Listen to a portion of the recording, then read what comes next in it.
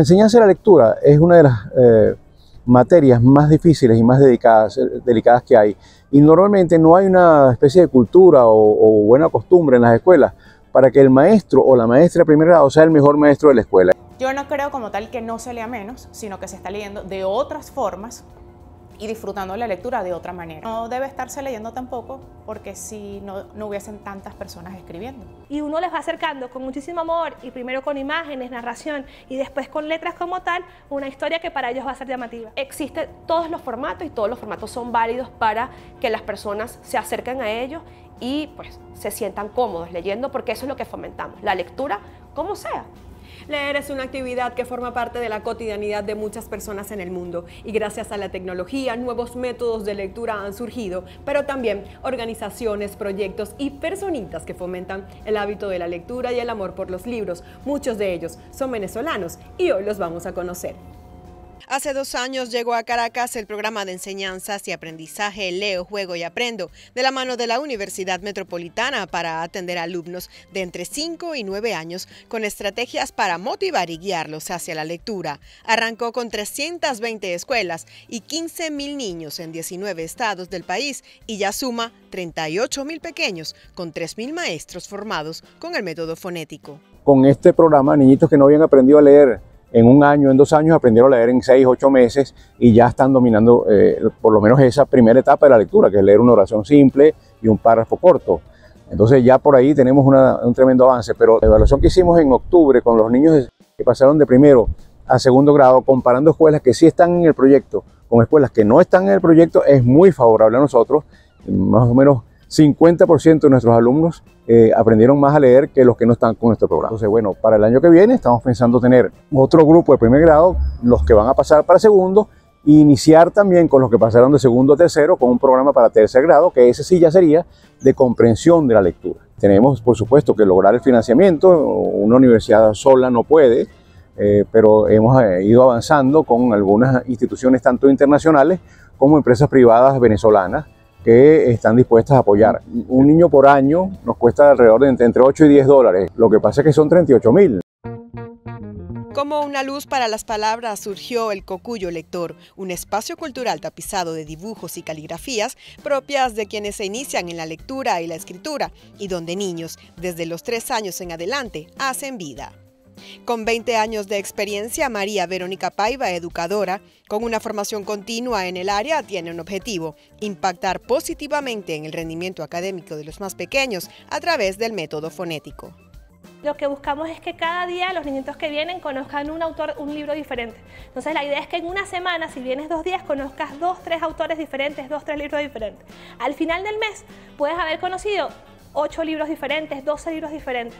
¿Por qué? Porque cada vez que vienen leemos cosas que los atrapen. Que, y también preguntamos mucho, ¿qué te gusta leer? ¿Te gusta este tema? Y si buscamos otros, como que vamos mucho por el centro de interés de cada niño y cada niña para poderlos atraer desde lo que les gusta a lo que nosotros queremos, que es que vean y se enamoren de los libros. ¿Qué cosas hacemos acá? En los talleres individuales buscamos que con el tiempo y con varias actividades donde se juegan con las palabras y se, y se lee todo el tiempo, los niñitos vayan aprendiendo y que cada mes ellos mismos se. Una vez al mes los grabamos, tipo al principio los grabo y después al final del mes y vemos cómo va fluyendo, porque también eh, mientras más fluidez, más comprensión. Comunicadoras sociales unidas por el amor y la afición a los libros y a la lectura encontraron su cauce a través de las redes sociales, testigos del crecimiento dinámico que ha tenido esta comunidad digital que hoy cumple 14 años. Que leer, una plataforma que trasciende fronteras venezolanas, cuenta con más de 100.000 seguidores en sus versiones digitales. Nosotros no solamente hablamos de lo que ocurre en la movida venezolana, y apoyamos a todos aquellos gestores y empresas y editoriales que están haciendo algo del país, sino también hablamos de lo que ocurre afuera y de lo que quisiéramos que llegue. Y fuimos también eh, pioneras en dar a conocer nuestros autores a otros países por lo digital. Todo lo que hemos hecho lo, hemos hecho orgánicamente. Fuimos como que afortunadas porque lo hicimos en el momento adecuado, creo yo. Además que, bueno, conectamos con lectores que en ese momento no era lo habitual, sino eh, a lo mejor no habían editoriales que tuviesen Twitter, no tuviesen redes sociales y de alguna manera eso, eso cohesionó entre el lector y el, otro lado que es el, escritor, la editorial. Hemos tratado de... Eh, vincular nuestro contenido con las diferentes plataformas eh, de redes sociales. Nosotras siempre eh, apostamos a nuestra comunidad digital y seguirle dando eh, ese impulso a, tanto a los lectores a través de las herramientas que damos ahí y a los autores con los, toda la parte de promoción y visualización en los que los apoyamos. Y nos encantaría seguir impulsando actividades en nuestra ciudad, con proyección obviamente a que podamos hacer de estas actividades que eh, hacemos desde aquí en otros estados del país.